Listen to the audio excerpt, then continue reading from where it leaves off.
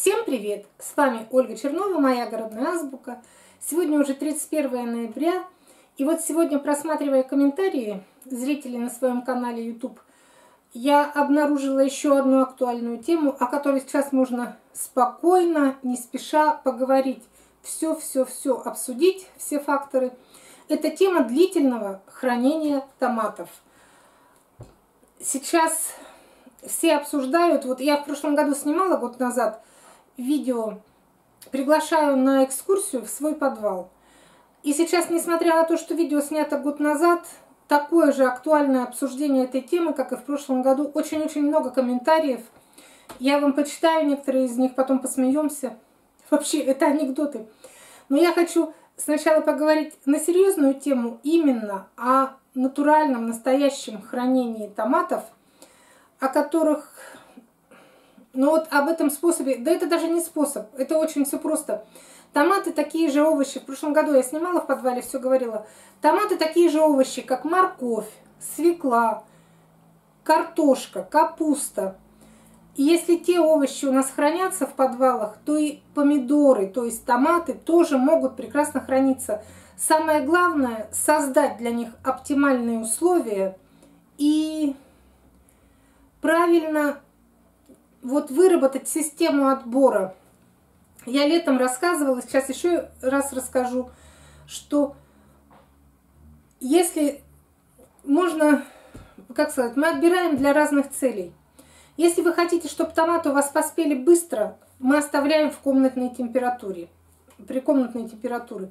Если мы хотим, чтобы томаты, вот это растянуть созревание, мы спускаем их в холодный подвал.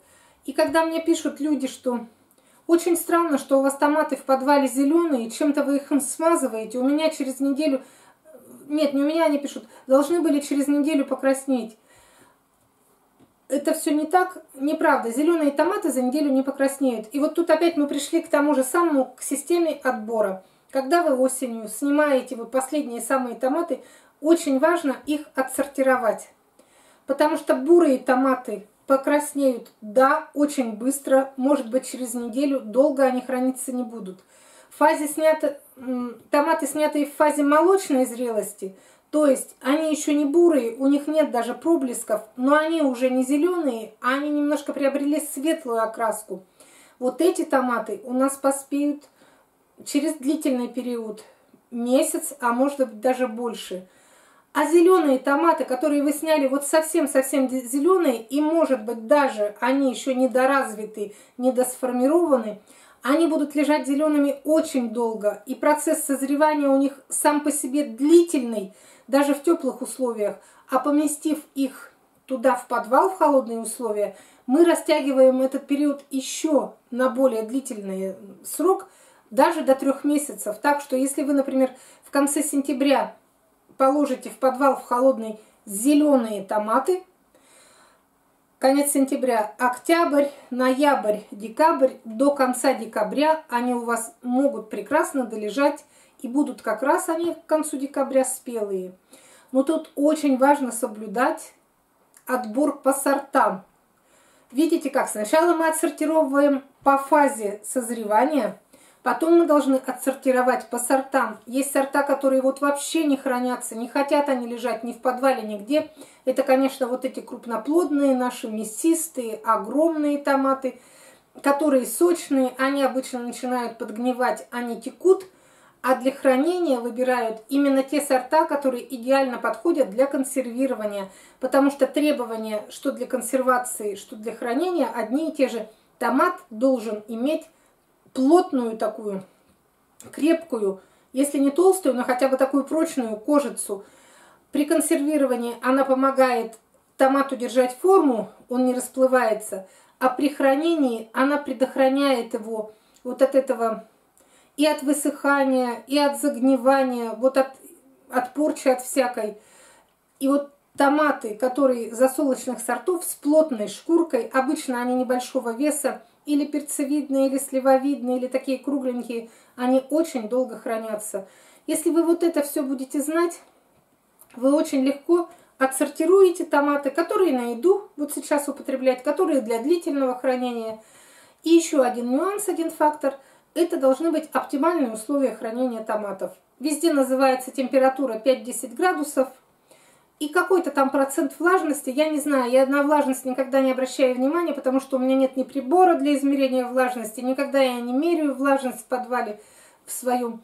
Я знаю только, что у нас подвал не сырой, мы дом строили сами, мы все это делали так, чтобы, ну, чтобы он был пригоден для хранения длительного, большого количества вот свежих овощей, фруктов и яблоки туда укладывали, были годы. Сейчас не укладываю, потому что детей маленьких нет.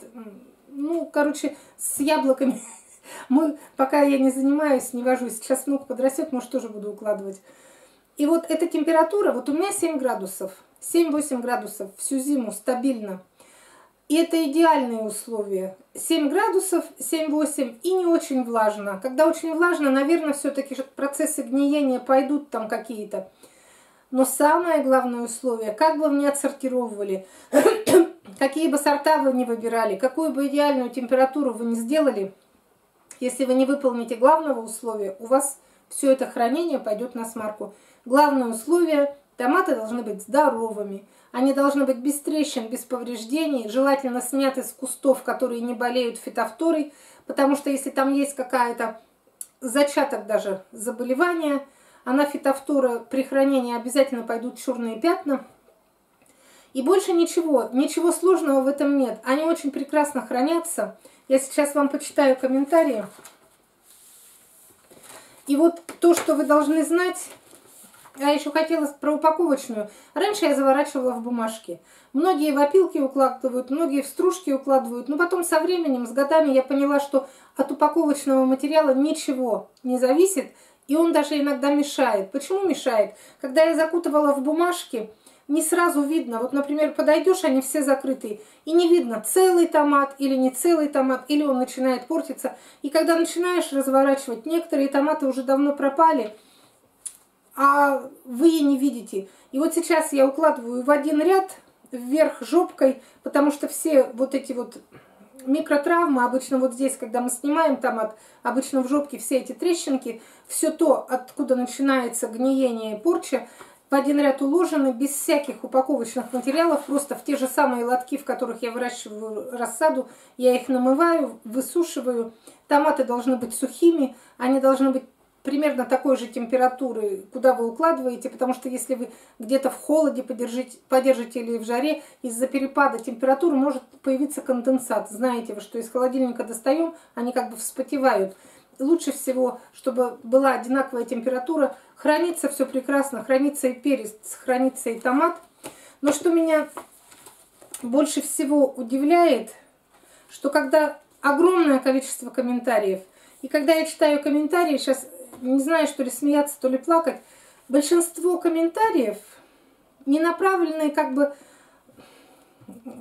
не задаются с такой с просветительскими целями. Мало кто спрашивает, как точно хранить, как вот отбирать все. Больше всего спрашивают, как это можно съесть. Вот сегодня, прям два часа назад пришел комментарий Алина Зверева. Куда столько? Потом пишут Сейчас еще расскажу. Светлана Купченко тоже. Зачем так много? Это, потом хорошие прочитаю сейчас. Пишет Ольга Сухова день назад написала. А в банке почему не закрываете? Банок у вас мало. Мне интересно, откуда человек знает, сколько у меня банок. Банки хранятся совсем в другой комнате подвала. Банок очень много делаю. Из, из года на год остаются остатки.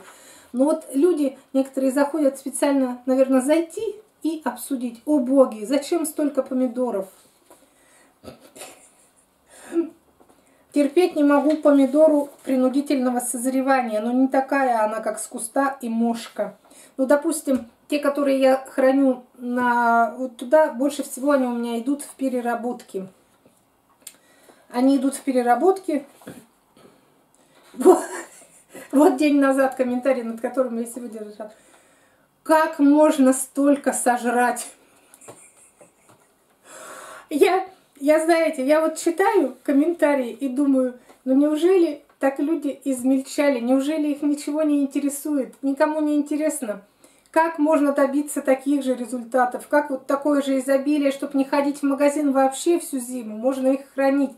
Я сейчас вот в это время еще делаю заготовки, суповые заправки, варю лечо, кетчуп варю, все это, потому что летом, осенью, вы понимаете, у меня заготовка семян, у меня много в огороде, я не успеваю. И сейчас я спокойно достаю по одному, два, два ящичка и делаю. Я вот практикую это уже последние годы, и когда поступают вопросы, как можно столько сожрать, вы, наверное, никогда не варили кетчуп или не варили томатную пасту с ведра помидор, когда получается всего одна баночка качественного продукта. Это не так много. Но над комментариями, конечно, тут э, над некоторыми смеешься, над некоторыми плачешь. И вот только изредка проскальзывают, например, Хелена Гросс написала, да, это очень интересно, при какой температуре можно их сохранить длительно? Человек заинтересовался, что как можно сохранить только, почему они не портятся. И некоторые пишут, это что-то подозрительное, они чем-то смазаны. Сразу говорю, ничем не смазано, ничего я не делаю, ничем не опрыскиваю, ничем не обрабатываю. Просто здоровые томаты, не больные кусты, отсортировываю, укладываю туда не бурые, не спелые, а только или в молочной зрелости, или совсем зеленые, чтобы продлить их созревание. Потом там температура, там холодно, 7 градусов, и там сухо. Все. Это все, что нужно знать. Ну и в конце, конечно, и вот пишет тоже Ольга Колес... Колесник в прошлом году еще. Скажите, а какая температура в вашем подвале? Вот это из 17 листов, и еще вот одна написала, всего три вопроса по делу. То есть люди заинтересовались, как температура, какие условия, чтобы можно было самим повторить, чтобы можно было вот так вот сделать Остальные, ну, конечно, пишут, как здорово, как красиво. Пишет вот два дня назад Татьяна Гилева. А со сколько соток это? У меня, как у всех, шесть соток. У меня ничего, никаких огромных огородов нет. Сегодня же тоже прочитала а, один комментарий чтобы вот такой урожай, там надо 10 работников. Но вы понимаете, на 6 сотках 10 работников, если будут работать, особенно с такой фигурой, как у меня, им будет тесно. Работаю пока одна, пока справляюсь. Желаю всем здоровья, желаю всем больше доброты, чтобы не писать ответы, как это можно сожрать, чтобы писать комментарии а как нам получить столько же? А куда девать и как потом сожрать? Поверьте, вы найдете выход. Уж куда девать томаты спелые, хорошие, красивые. Каждый человек найдет применение. Столько съесть самим нереально. Ну все, короче, я больше не буду это читать. И вот какая влажность в подвале еще спрашивают. Я уже сказала, что влажность я не знаю, я не измеряю. Вот тоже Наталья Хижнякова день назад написала. Помидор, конечно, море, а закаток и нет на полках. А ведь столько вкусноты можно заготовить. Так много не съешь, испортится и выбросите. Помидор все равно не картошка, всю зиму храниться не будет. А зачем за ними наблюдать, перерабатывать надо? Ну, я хочу сказать Наталье и всем. Заготовок мне хватает. Я делаю и суповые заправки, и соленые, и консервированные. Храню и свежие варю лечо, варю кетчупы, давлю томатный сок, мы все наедаемся, но все заправки стоят в другой комнате. И откуда я сделаю заправок, от, ну, сколько я делаю заправок, вам, конечно, не, вы не видите. И зачем писать такие комментарии, что нет банок? Вы откуда знаете, где у меня банки? Все, до свидания. Конечно, надо быть добрее. Нужно писать комментарии именно позитивные, именно какие-то интересующиеся, а не о том, вот, а сколько у вас там баночек? Но ну, это тоже интересно.